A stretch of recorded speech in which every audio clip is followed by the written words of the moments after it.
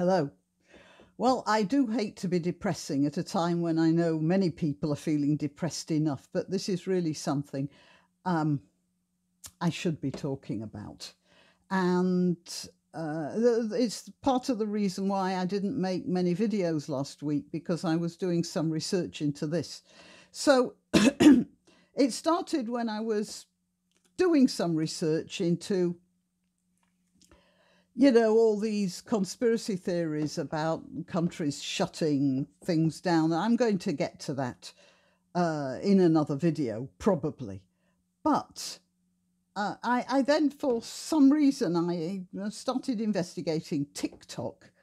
And having got into that, I I came upon a whole load of other stuff, which I'm now going to put uh, before you.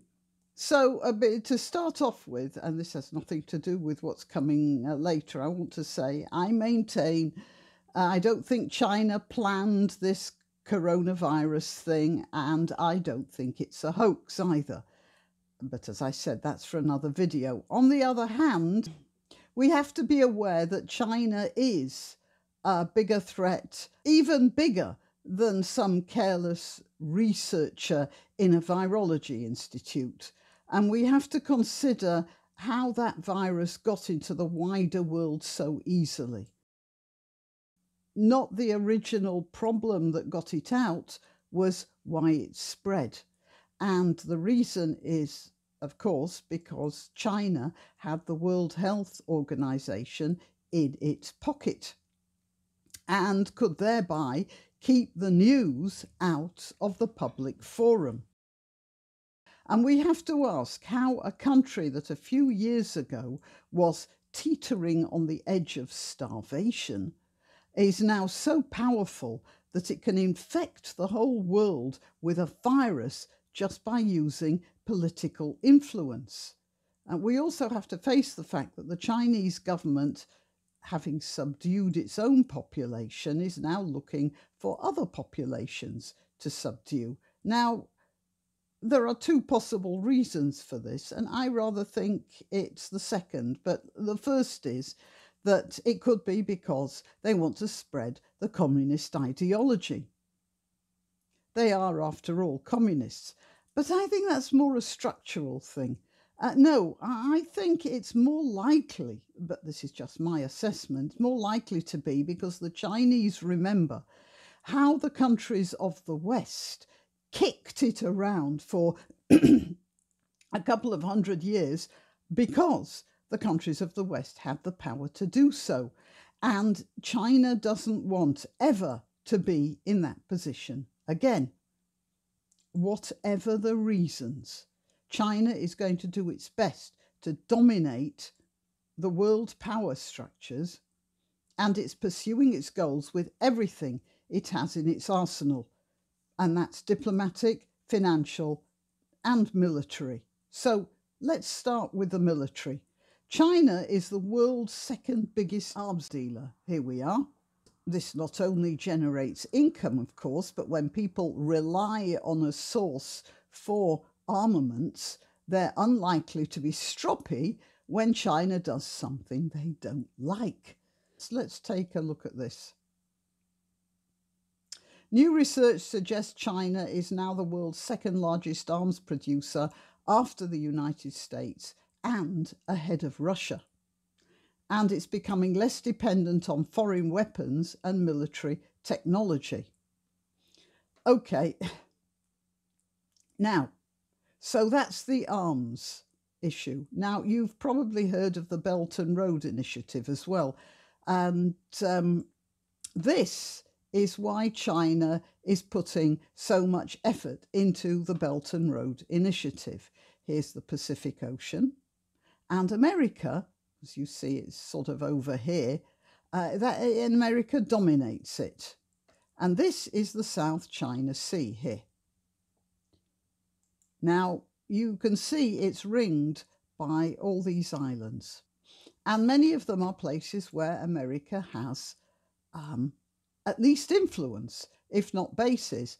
there's uh, Taiwan here. You can see why China's so keen on getting Taiwan under its wing. And then there's the Philippines and even Australia. So, if there was a conflict, not a war, just a standoff,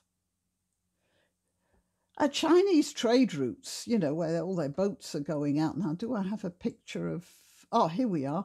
Uh, these are, you know, their trade routes out here, and its foreign currency depends on these trade routes. Uh, America could could cut them off. So China's in the process of setting up a network of land and sea routes across uh, Asia towards Europe from the east. Right, here we are. So here are the Chinese, here's a, a map. You see, there's China and these uh, routes go all the way across here, uh, uh across land, and then they're here they're busy building ports to uh, for their ships to dock and dis- uh, disgorge their goods, or at least stop to refuel or whatever. And they're, they're so they're building roads railways and ports, and in many cases, uh, for cash strapped and chaotic countries like Pakistan, for instance, uh, they are using the debt because they're not giving these for free in, in most cases. They're using the debt to control the governments.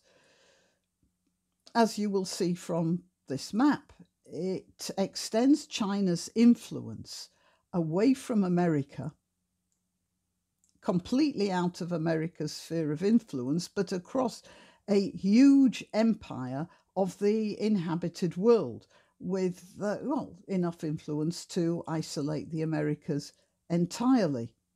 Now, here, look at this. This is a Portuguese page, and it celebrates a partnership between um, China, the Belt and Road Project, and Portugal's Fidelidade, which is a, an insurance company. Take a look at these glowing pictures up here in, the, uh, in this corner. Interest in Portuguese golden visa increases in Hong Kong. China uh, raised to establish a partnership with Portugal's yeah, Chinese elite university, including a Portuguese, a Portuguese subject, China is launching Portuguese satellite. Um, well, China Capital Airlines resumed direct flights between China and well, you can see all of that. At the same time, we and it's not just Portugal, by the way. Uh, at the same time, we have people like the uh, Greta Thunberg groupies trying to cripple our industries here in the West with nonsense carbonophobia while China is actually building artificial islands in the South China Sea and creating enormous ecological damage, completely unnoticed by the aforementioned Greta Thunberg groupies. Again, the islands are part of a strategy to um, uh, protect Chinese shipping routes. All of those red flags there are coral reefs claimed by China and many marked out for island building. Now, some of them are actually submerged at certain times of the tide, they're not proper islands, they don't have water, for instance. Uh, they don't have any anything there, and so the idea is to build on top of them. It's a very ecologically delicate area, and so far China has paved over about 22 square miles of coral destroying around 10% of reefs in the uh, Spratly archipelago south of Hainan and uh, about 8% of the reefs in the Paracel Islands between Hainan and Vietnam. So far, they've used the territorial reach uh, to gain fishing rights in these areas. But then the drag nets and stuff, that's not good for the coral reefs either. Uh, but they're also building landing strips and military outposts. So let's have a look at that. And this is in a magazine called The, the Diplomat. Are China's South China Sea artificial islands militarily significant or useful? Uh, but uh, they are military significant. Uh, they refer to it here as uh, these facilities built on top of reclaimed land. It's not reclaimed land. It's uh, to reclaim something, you have to claim something that's uh, already been there. No, these are coral reefs like this here. And they've just poured concrete over them. In a conflict, the capabilities on the Spratly outposts are more than just cannon fodder. They will contribute to Chinese firepower, situational awareness, and logistics. Beijing is also well positioned to employ anti ship and anti air missiles on these facilities to deny access to the US Navy and other regional navies. And it's causing, as I said, it's causing havoc there, killing millions of hectares of corals and its associated life. So, what do you hear of that on organs like CNN and the BBC? Well, so far as I know, the BBC has been running adverts for Huawei. And uh, you wonder why the BBC has produced a promotional video for Huawei with links to the Chinese government. Well, I don't suppose it's got anything to do with this, has it? BBC Studios strike content deal with China's Huawei. BBC Studios and China's Huawei Video have struck a deal in which British TV content is supplied to Huawei customer mobile devices in 26 countries the deal was announced to coincide with the launch of Huawei's P40 cell phone. That was in March. Um, it's not just the BBC, of course. You'll be glad to know that various Chinese companies are helping, helping in telecommunications, and there's talk of them also involved in the nuclear industry the nuclear industry. For Christ's sake, what is the government thinking of? Sorry about the strong language.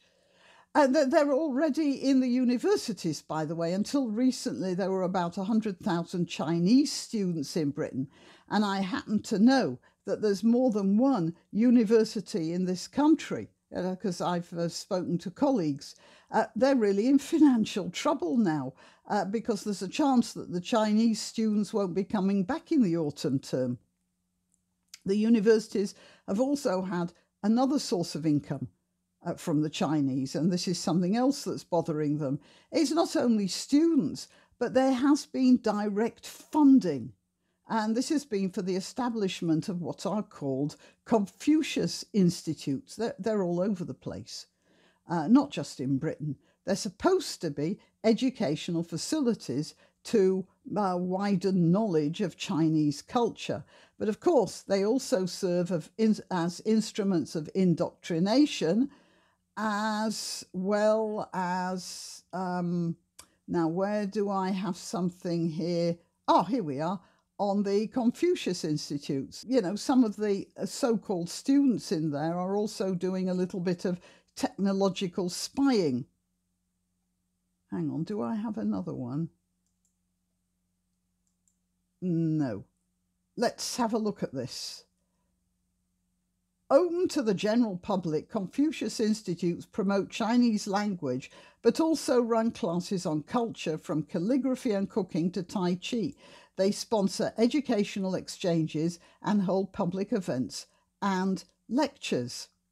The first Confucius Institute opened in South Korea, and according to official data, there were 548 Confucius Institutes around the world by the end of last year, as well as 1,193 Confucius classrooms based in primary and secondary schools.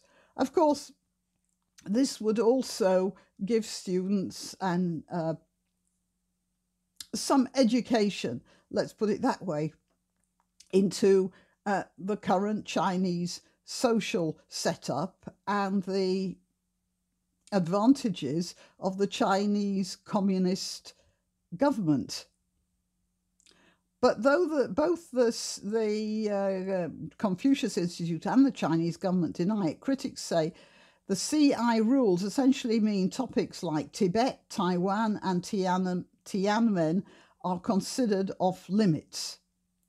Matt Schrader, a China analyst with the Alliance for Securing Democracy at the German Marshall Fund, never heard of that, asserts that the CIs are indeed propaganda tools. They are platforms for an authoritarian party that's fundamentally hostile to liberal ideas like free speech and free inquiry to propagate a state approved narrative. And since the Communist Party doesn't have a free press or rule of law to check its use of power, it's no surprise there have been strong indications that the CIs are used for inappropriate covert activities like intelligence gathering and facilitating military research.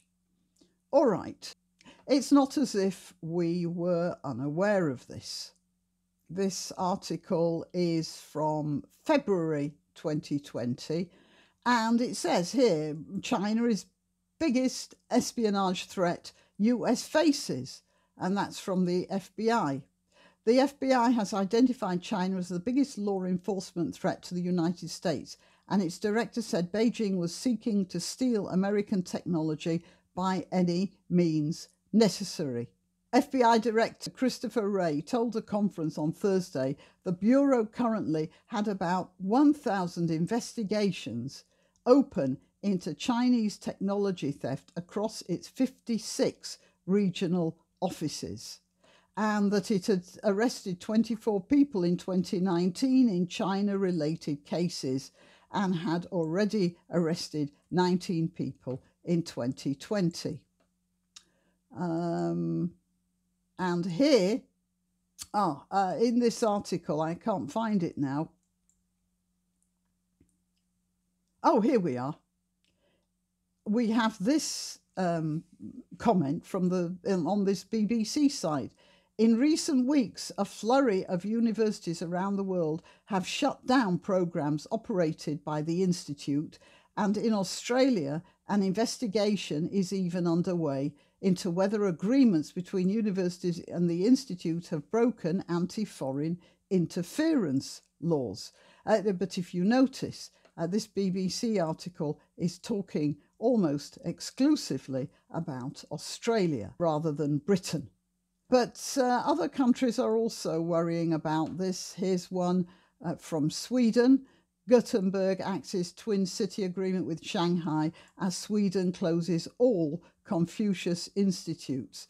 This has nothing to do with the coronavirus, but it has woken people up.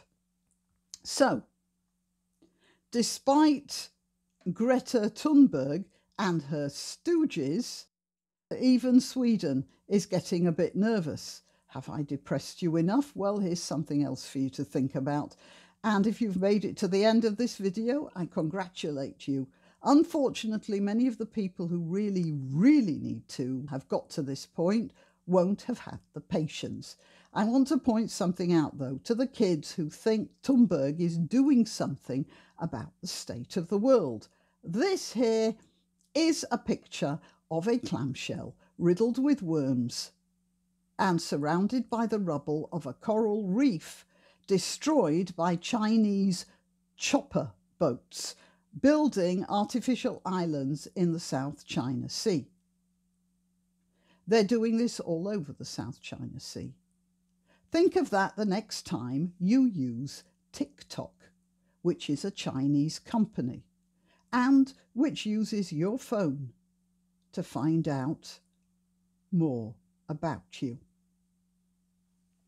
If you want to donate or contact, the information will be rolling over the Granniopteryx as I speak. Please like, subscribe and share because it does help with the algorithm. If you visit my channel on YouTube and one day discover that I've disappeared without warning, you'll still find me on BitChute or Minds. Just go to either of those platforms and do a search for Granniopteryx. If you're already watching this on BitChute or Minds, good for you. Meanwhile, if you're watching this on YouTube, remember that you must keep checking the subscribe and bell icons because occasionally they reset. Till next time.